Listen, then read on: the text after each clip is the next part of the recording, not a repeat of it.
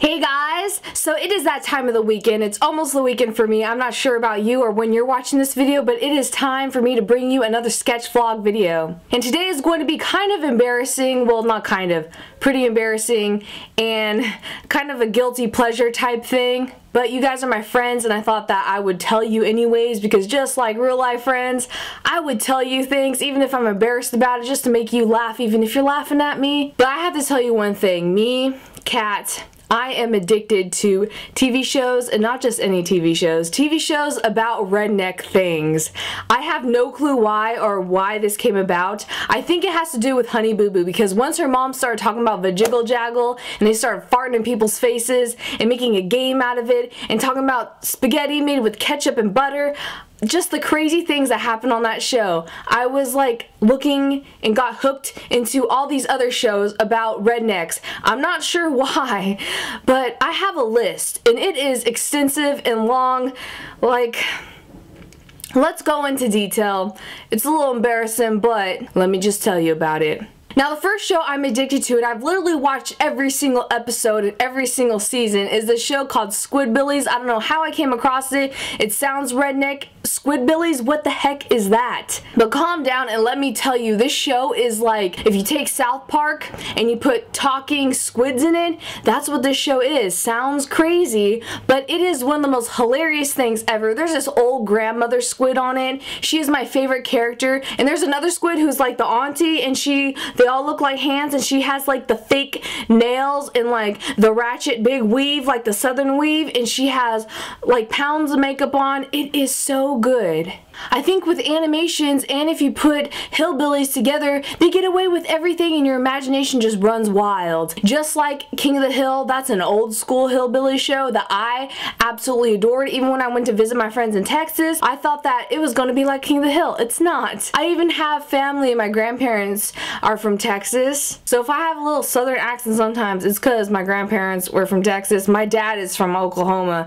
Oklahoma I'm not saying they're all rednecks, but my dad calls cornbread Oklahoma wedding cake. No joke another show that is really really good on redneck TV shows is like the premium of the redneck shows was Swamp People and it was so good until I stopped watching that show because there were some people getting in trouble with the law and even people having fights with women who were officers. This is in real life not even on the TV show and they didn't even talk about on the show so I'm like I'm gonna cut you off because I'm not all about that beating women and, and that type of jazz.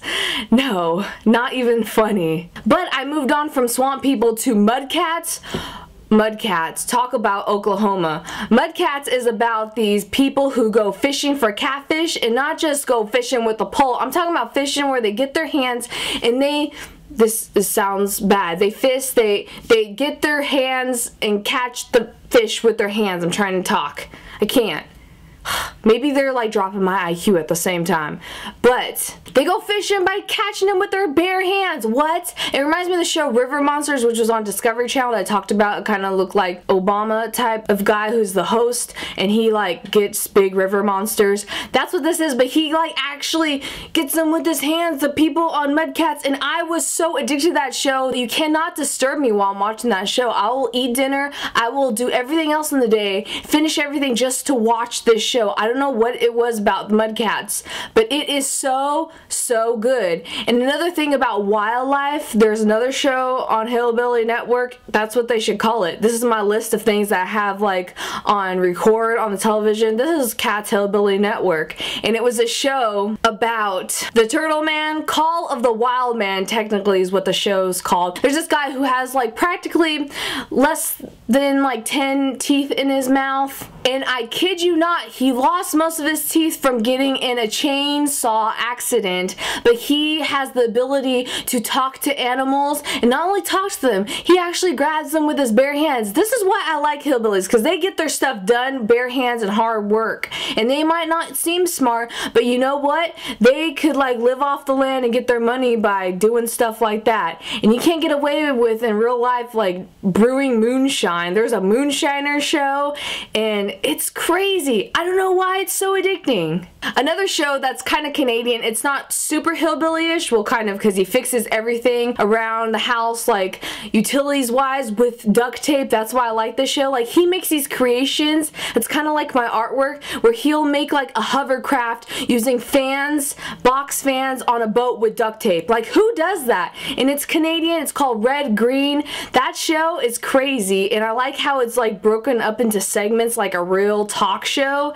And if you get it in Canada, I heard it's like playing all the time mostly like reruns of it. Because they have like over 16 seasons of the show. That's how long that show was going for. But that's just a rant on a show that I actually like. And I'm not sure if it's super hillbilly but it's good so that's my rant on hillbilly shows that I'm super addicted to. That's like my guilty pleasure most definitely. I don't know what it's about them. I think just the simple life that they go through. It reminds me of my grandparents, how they like pat passed away recently and they grew up on the farm and just living off the land type thing and just a simple life it just makes me appreciate everything I have more and what I'd like to know in today's video is what is one of your guilty pleasures or if you have multiple, leave me a comment down below. Because last time on Sketch Vlog we talked about what is one thing that you do that's super duper lazy and I had some amazing comments. Like you guys make me feel like I'm a very productive person.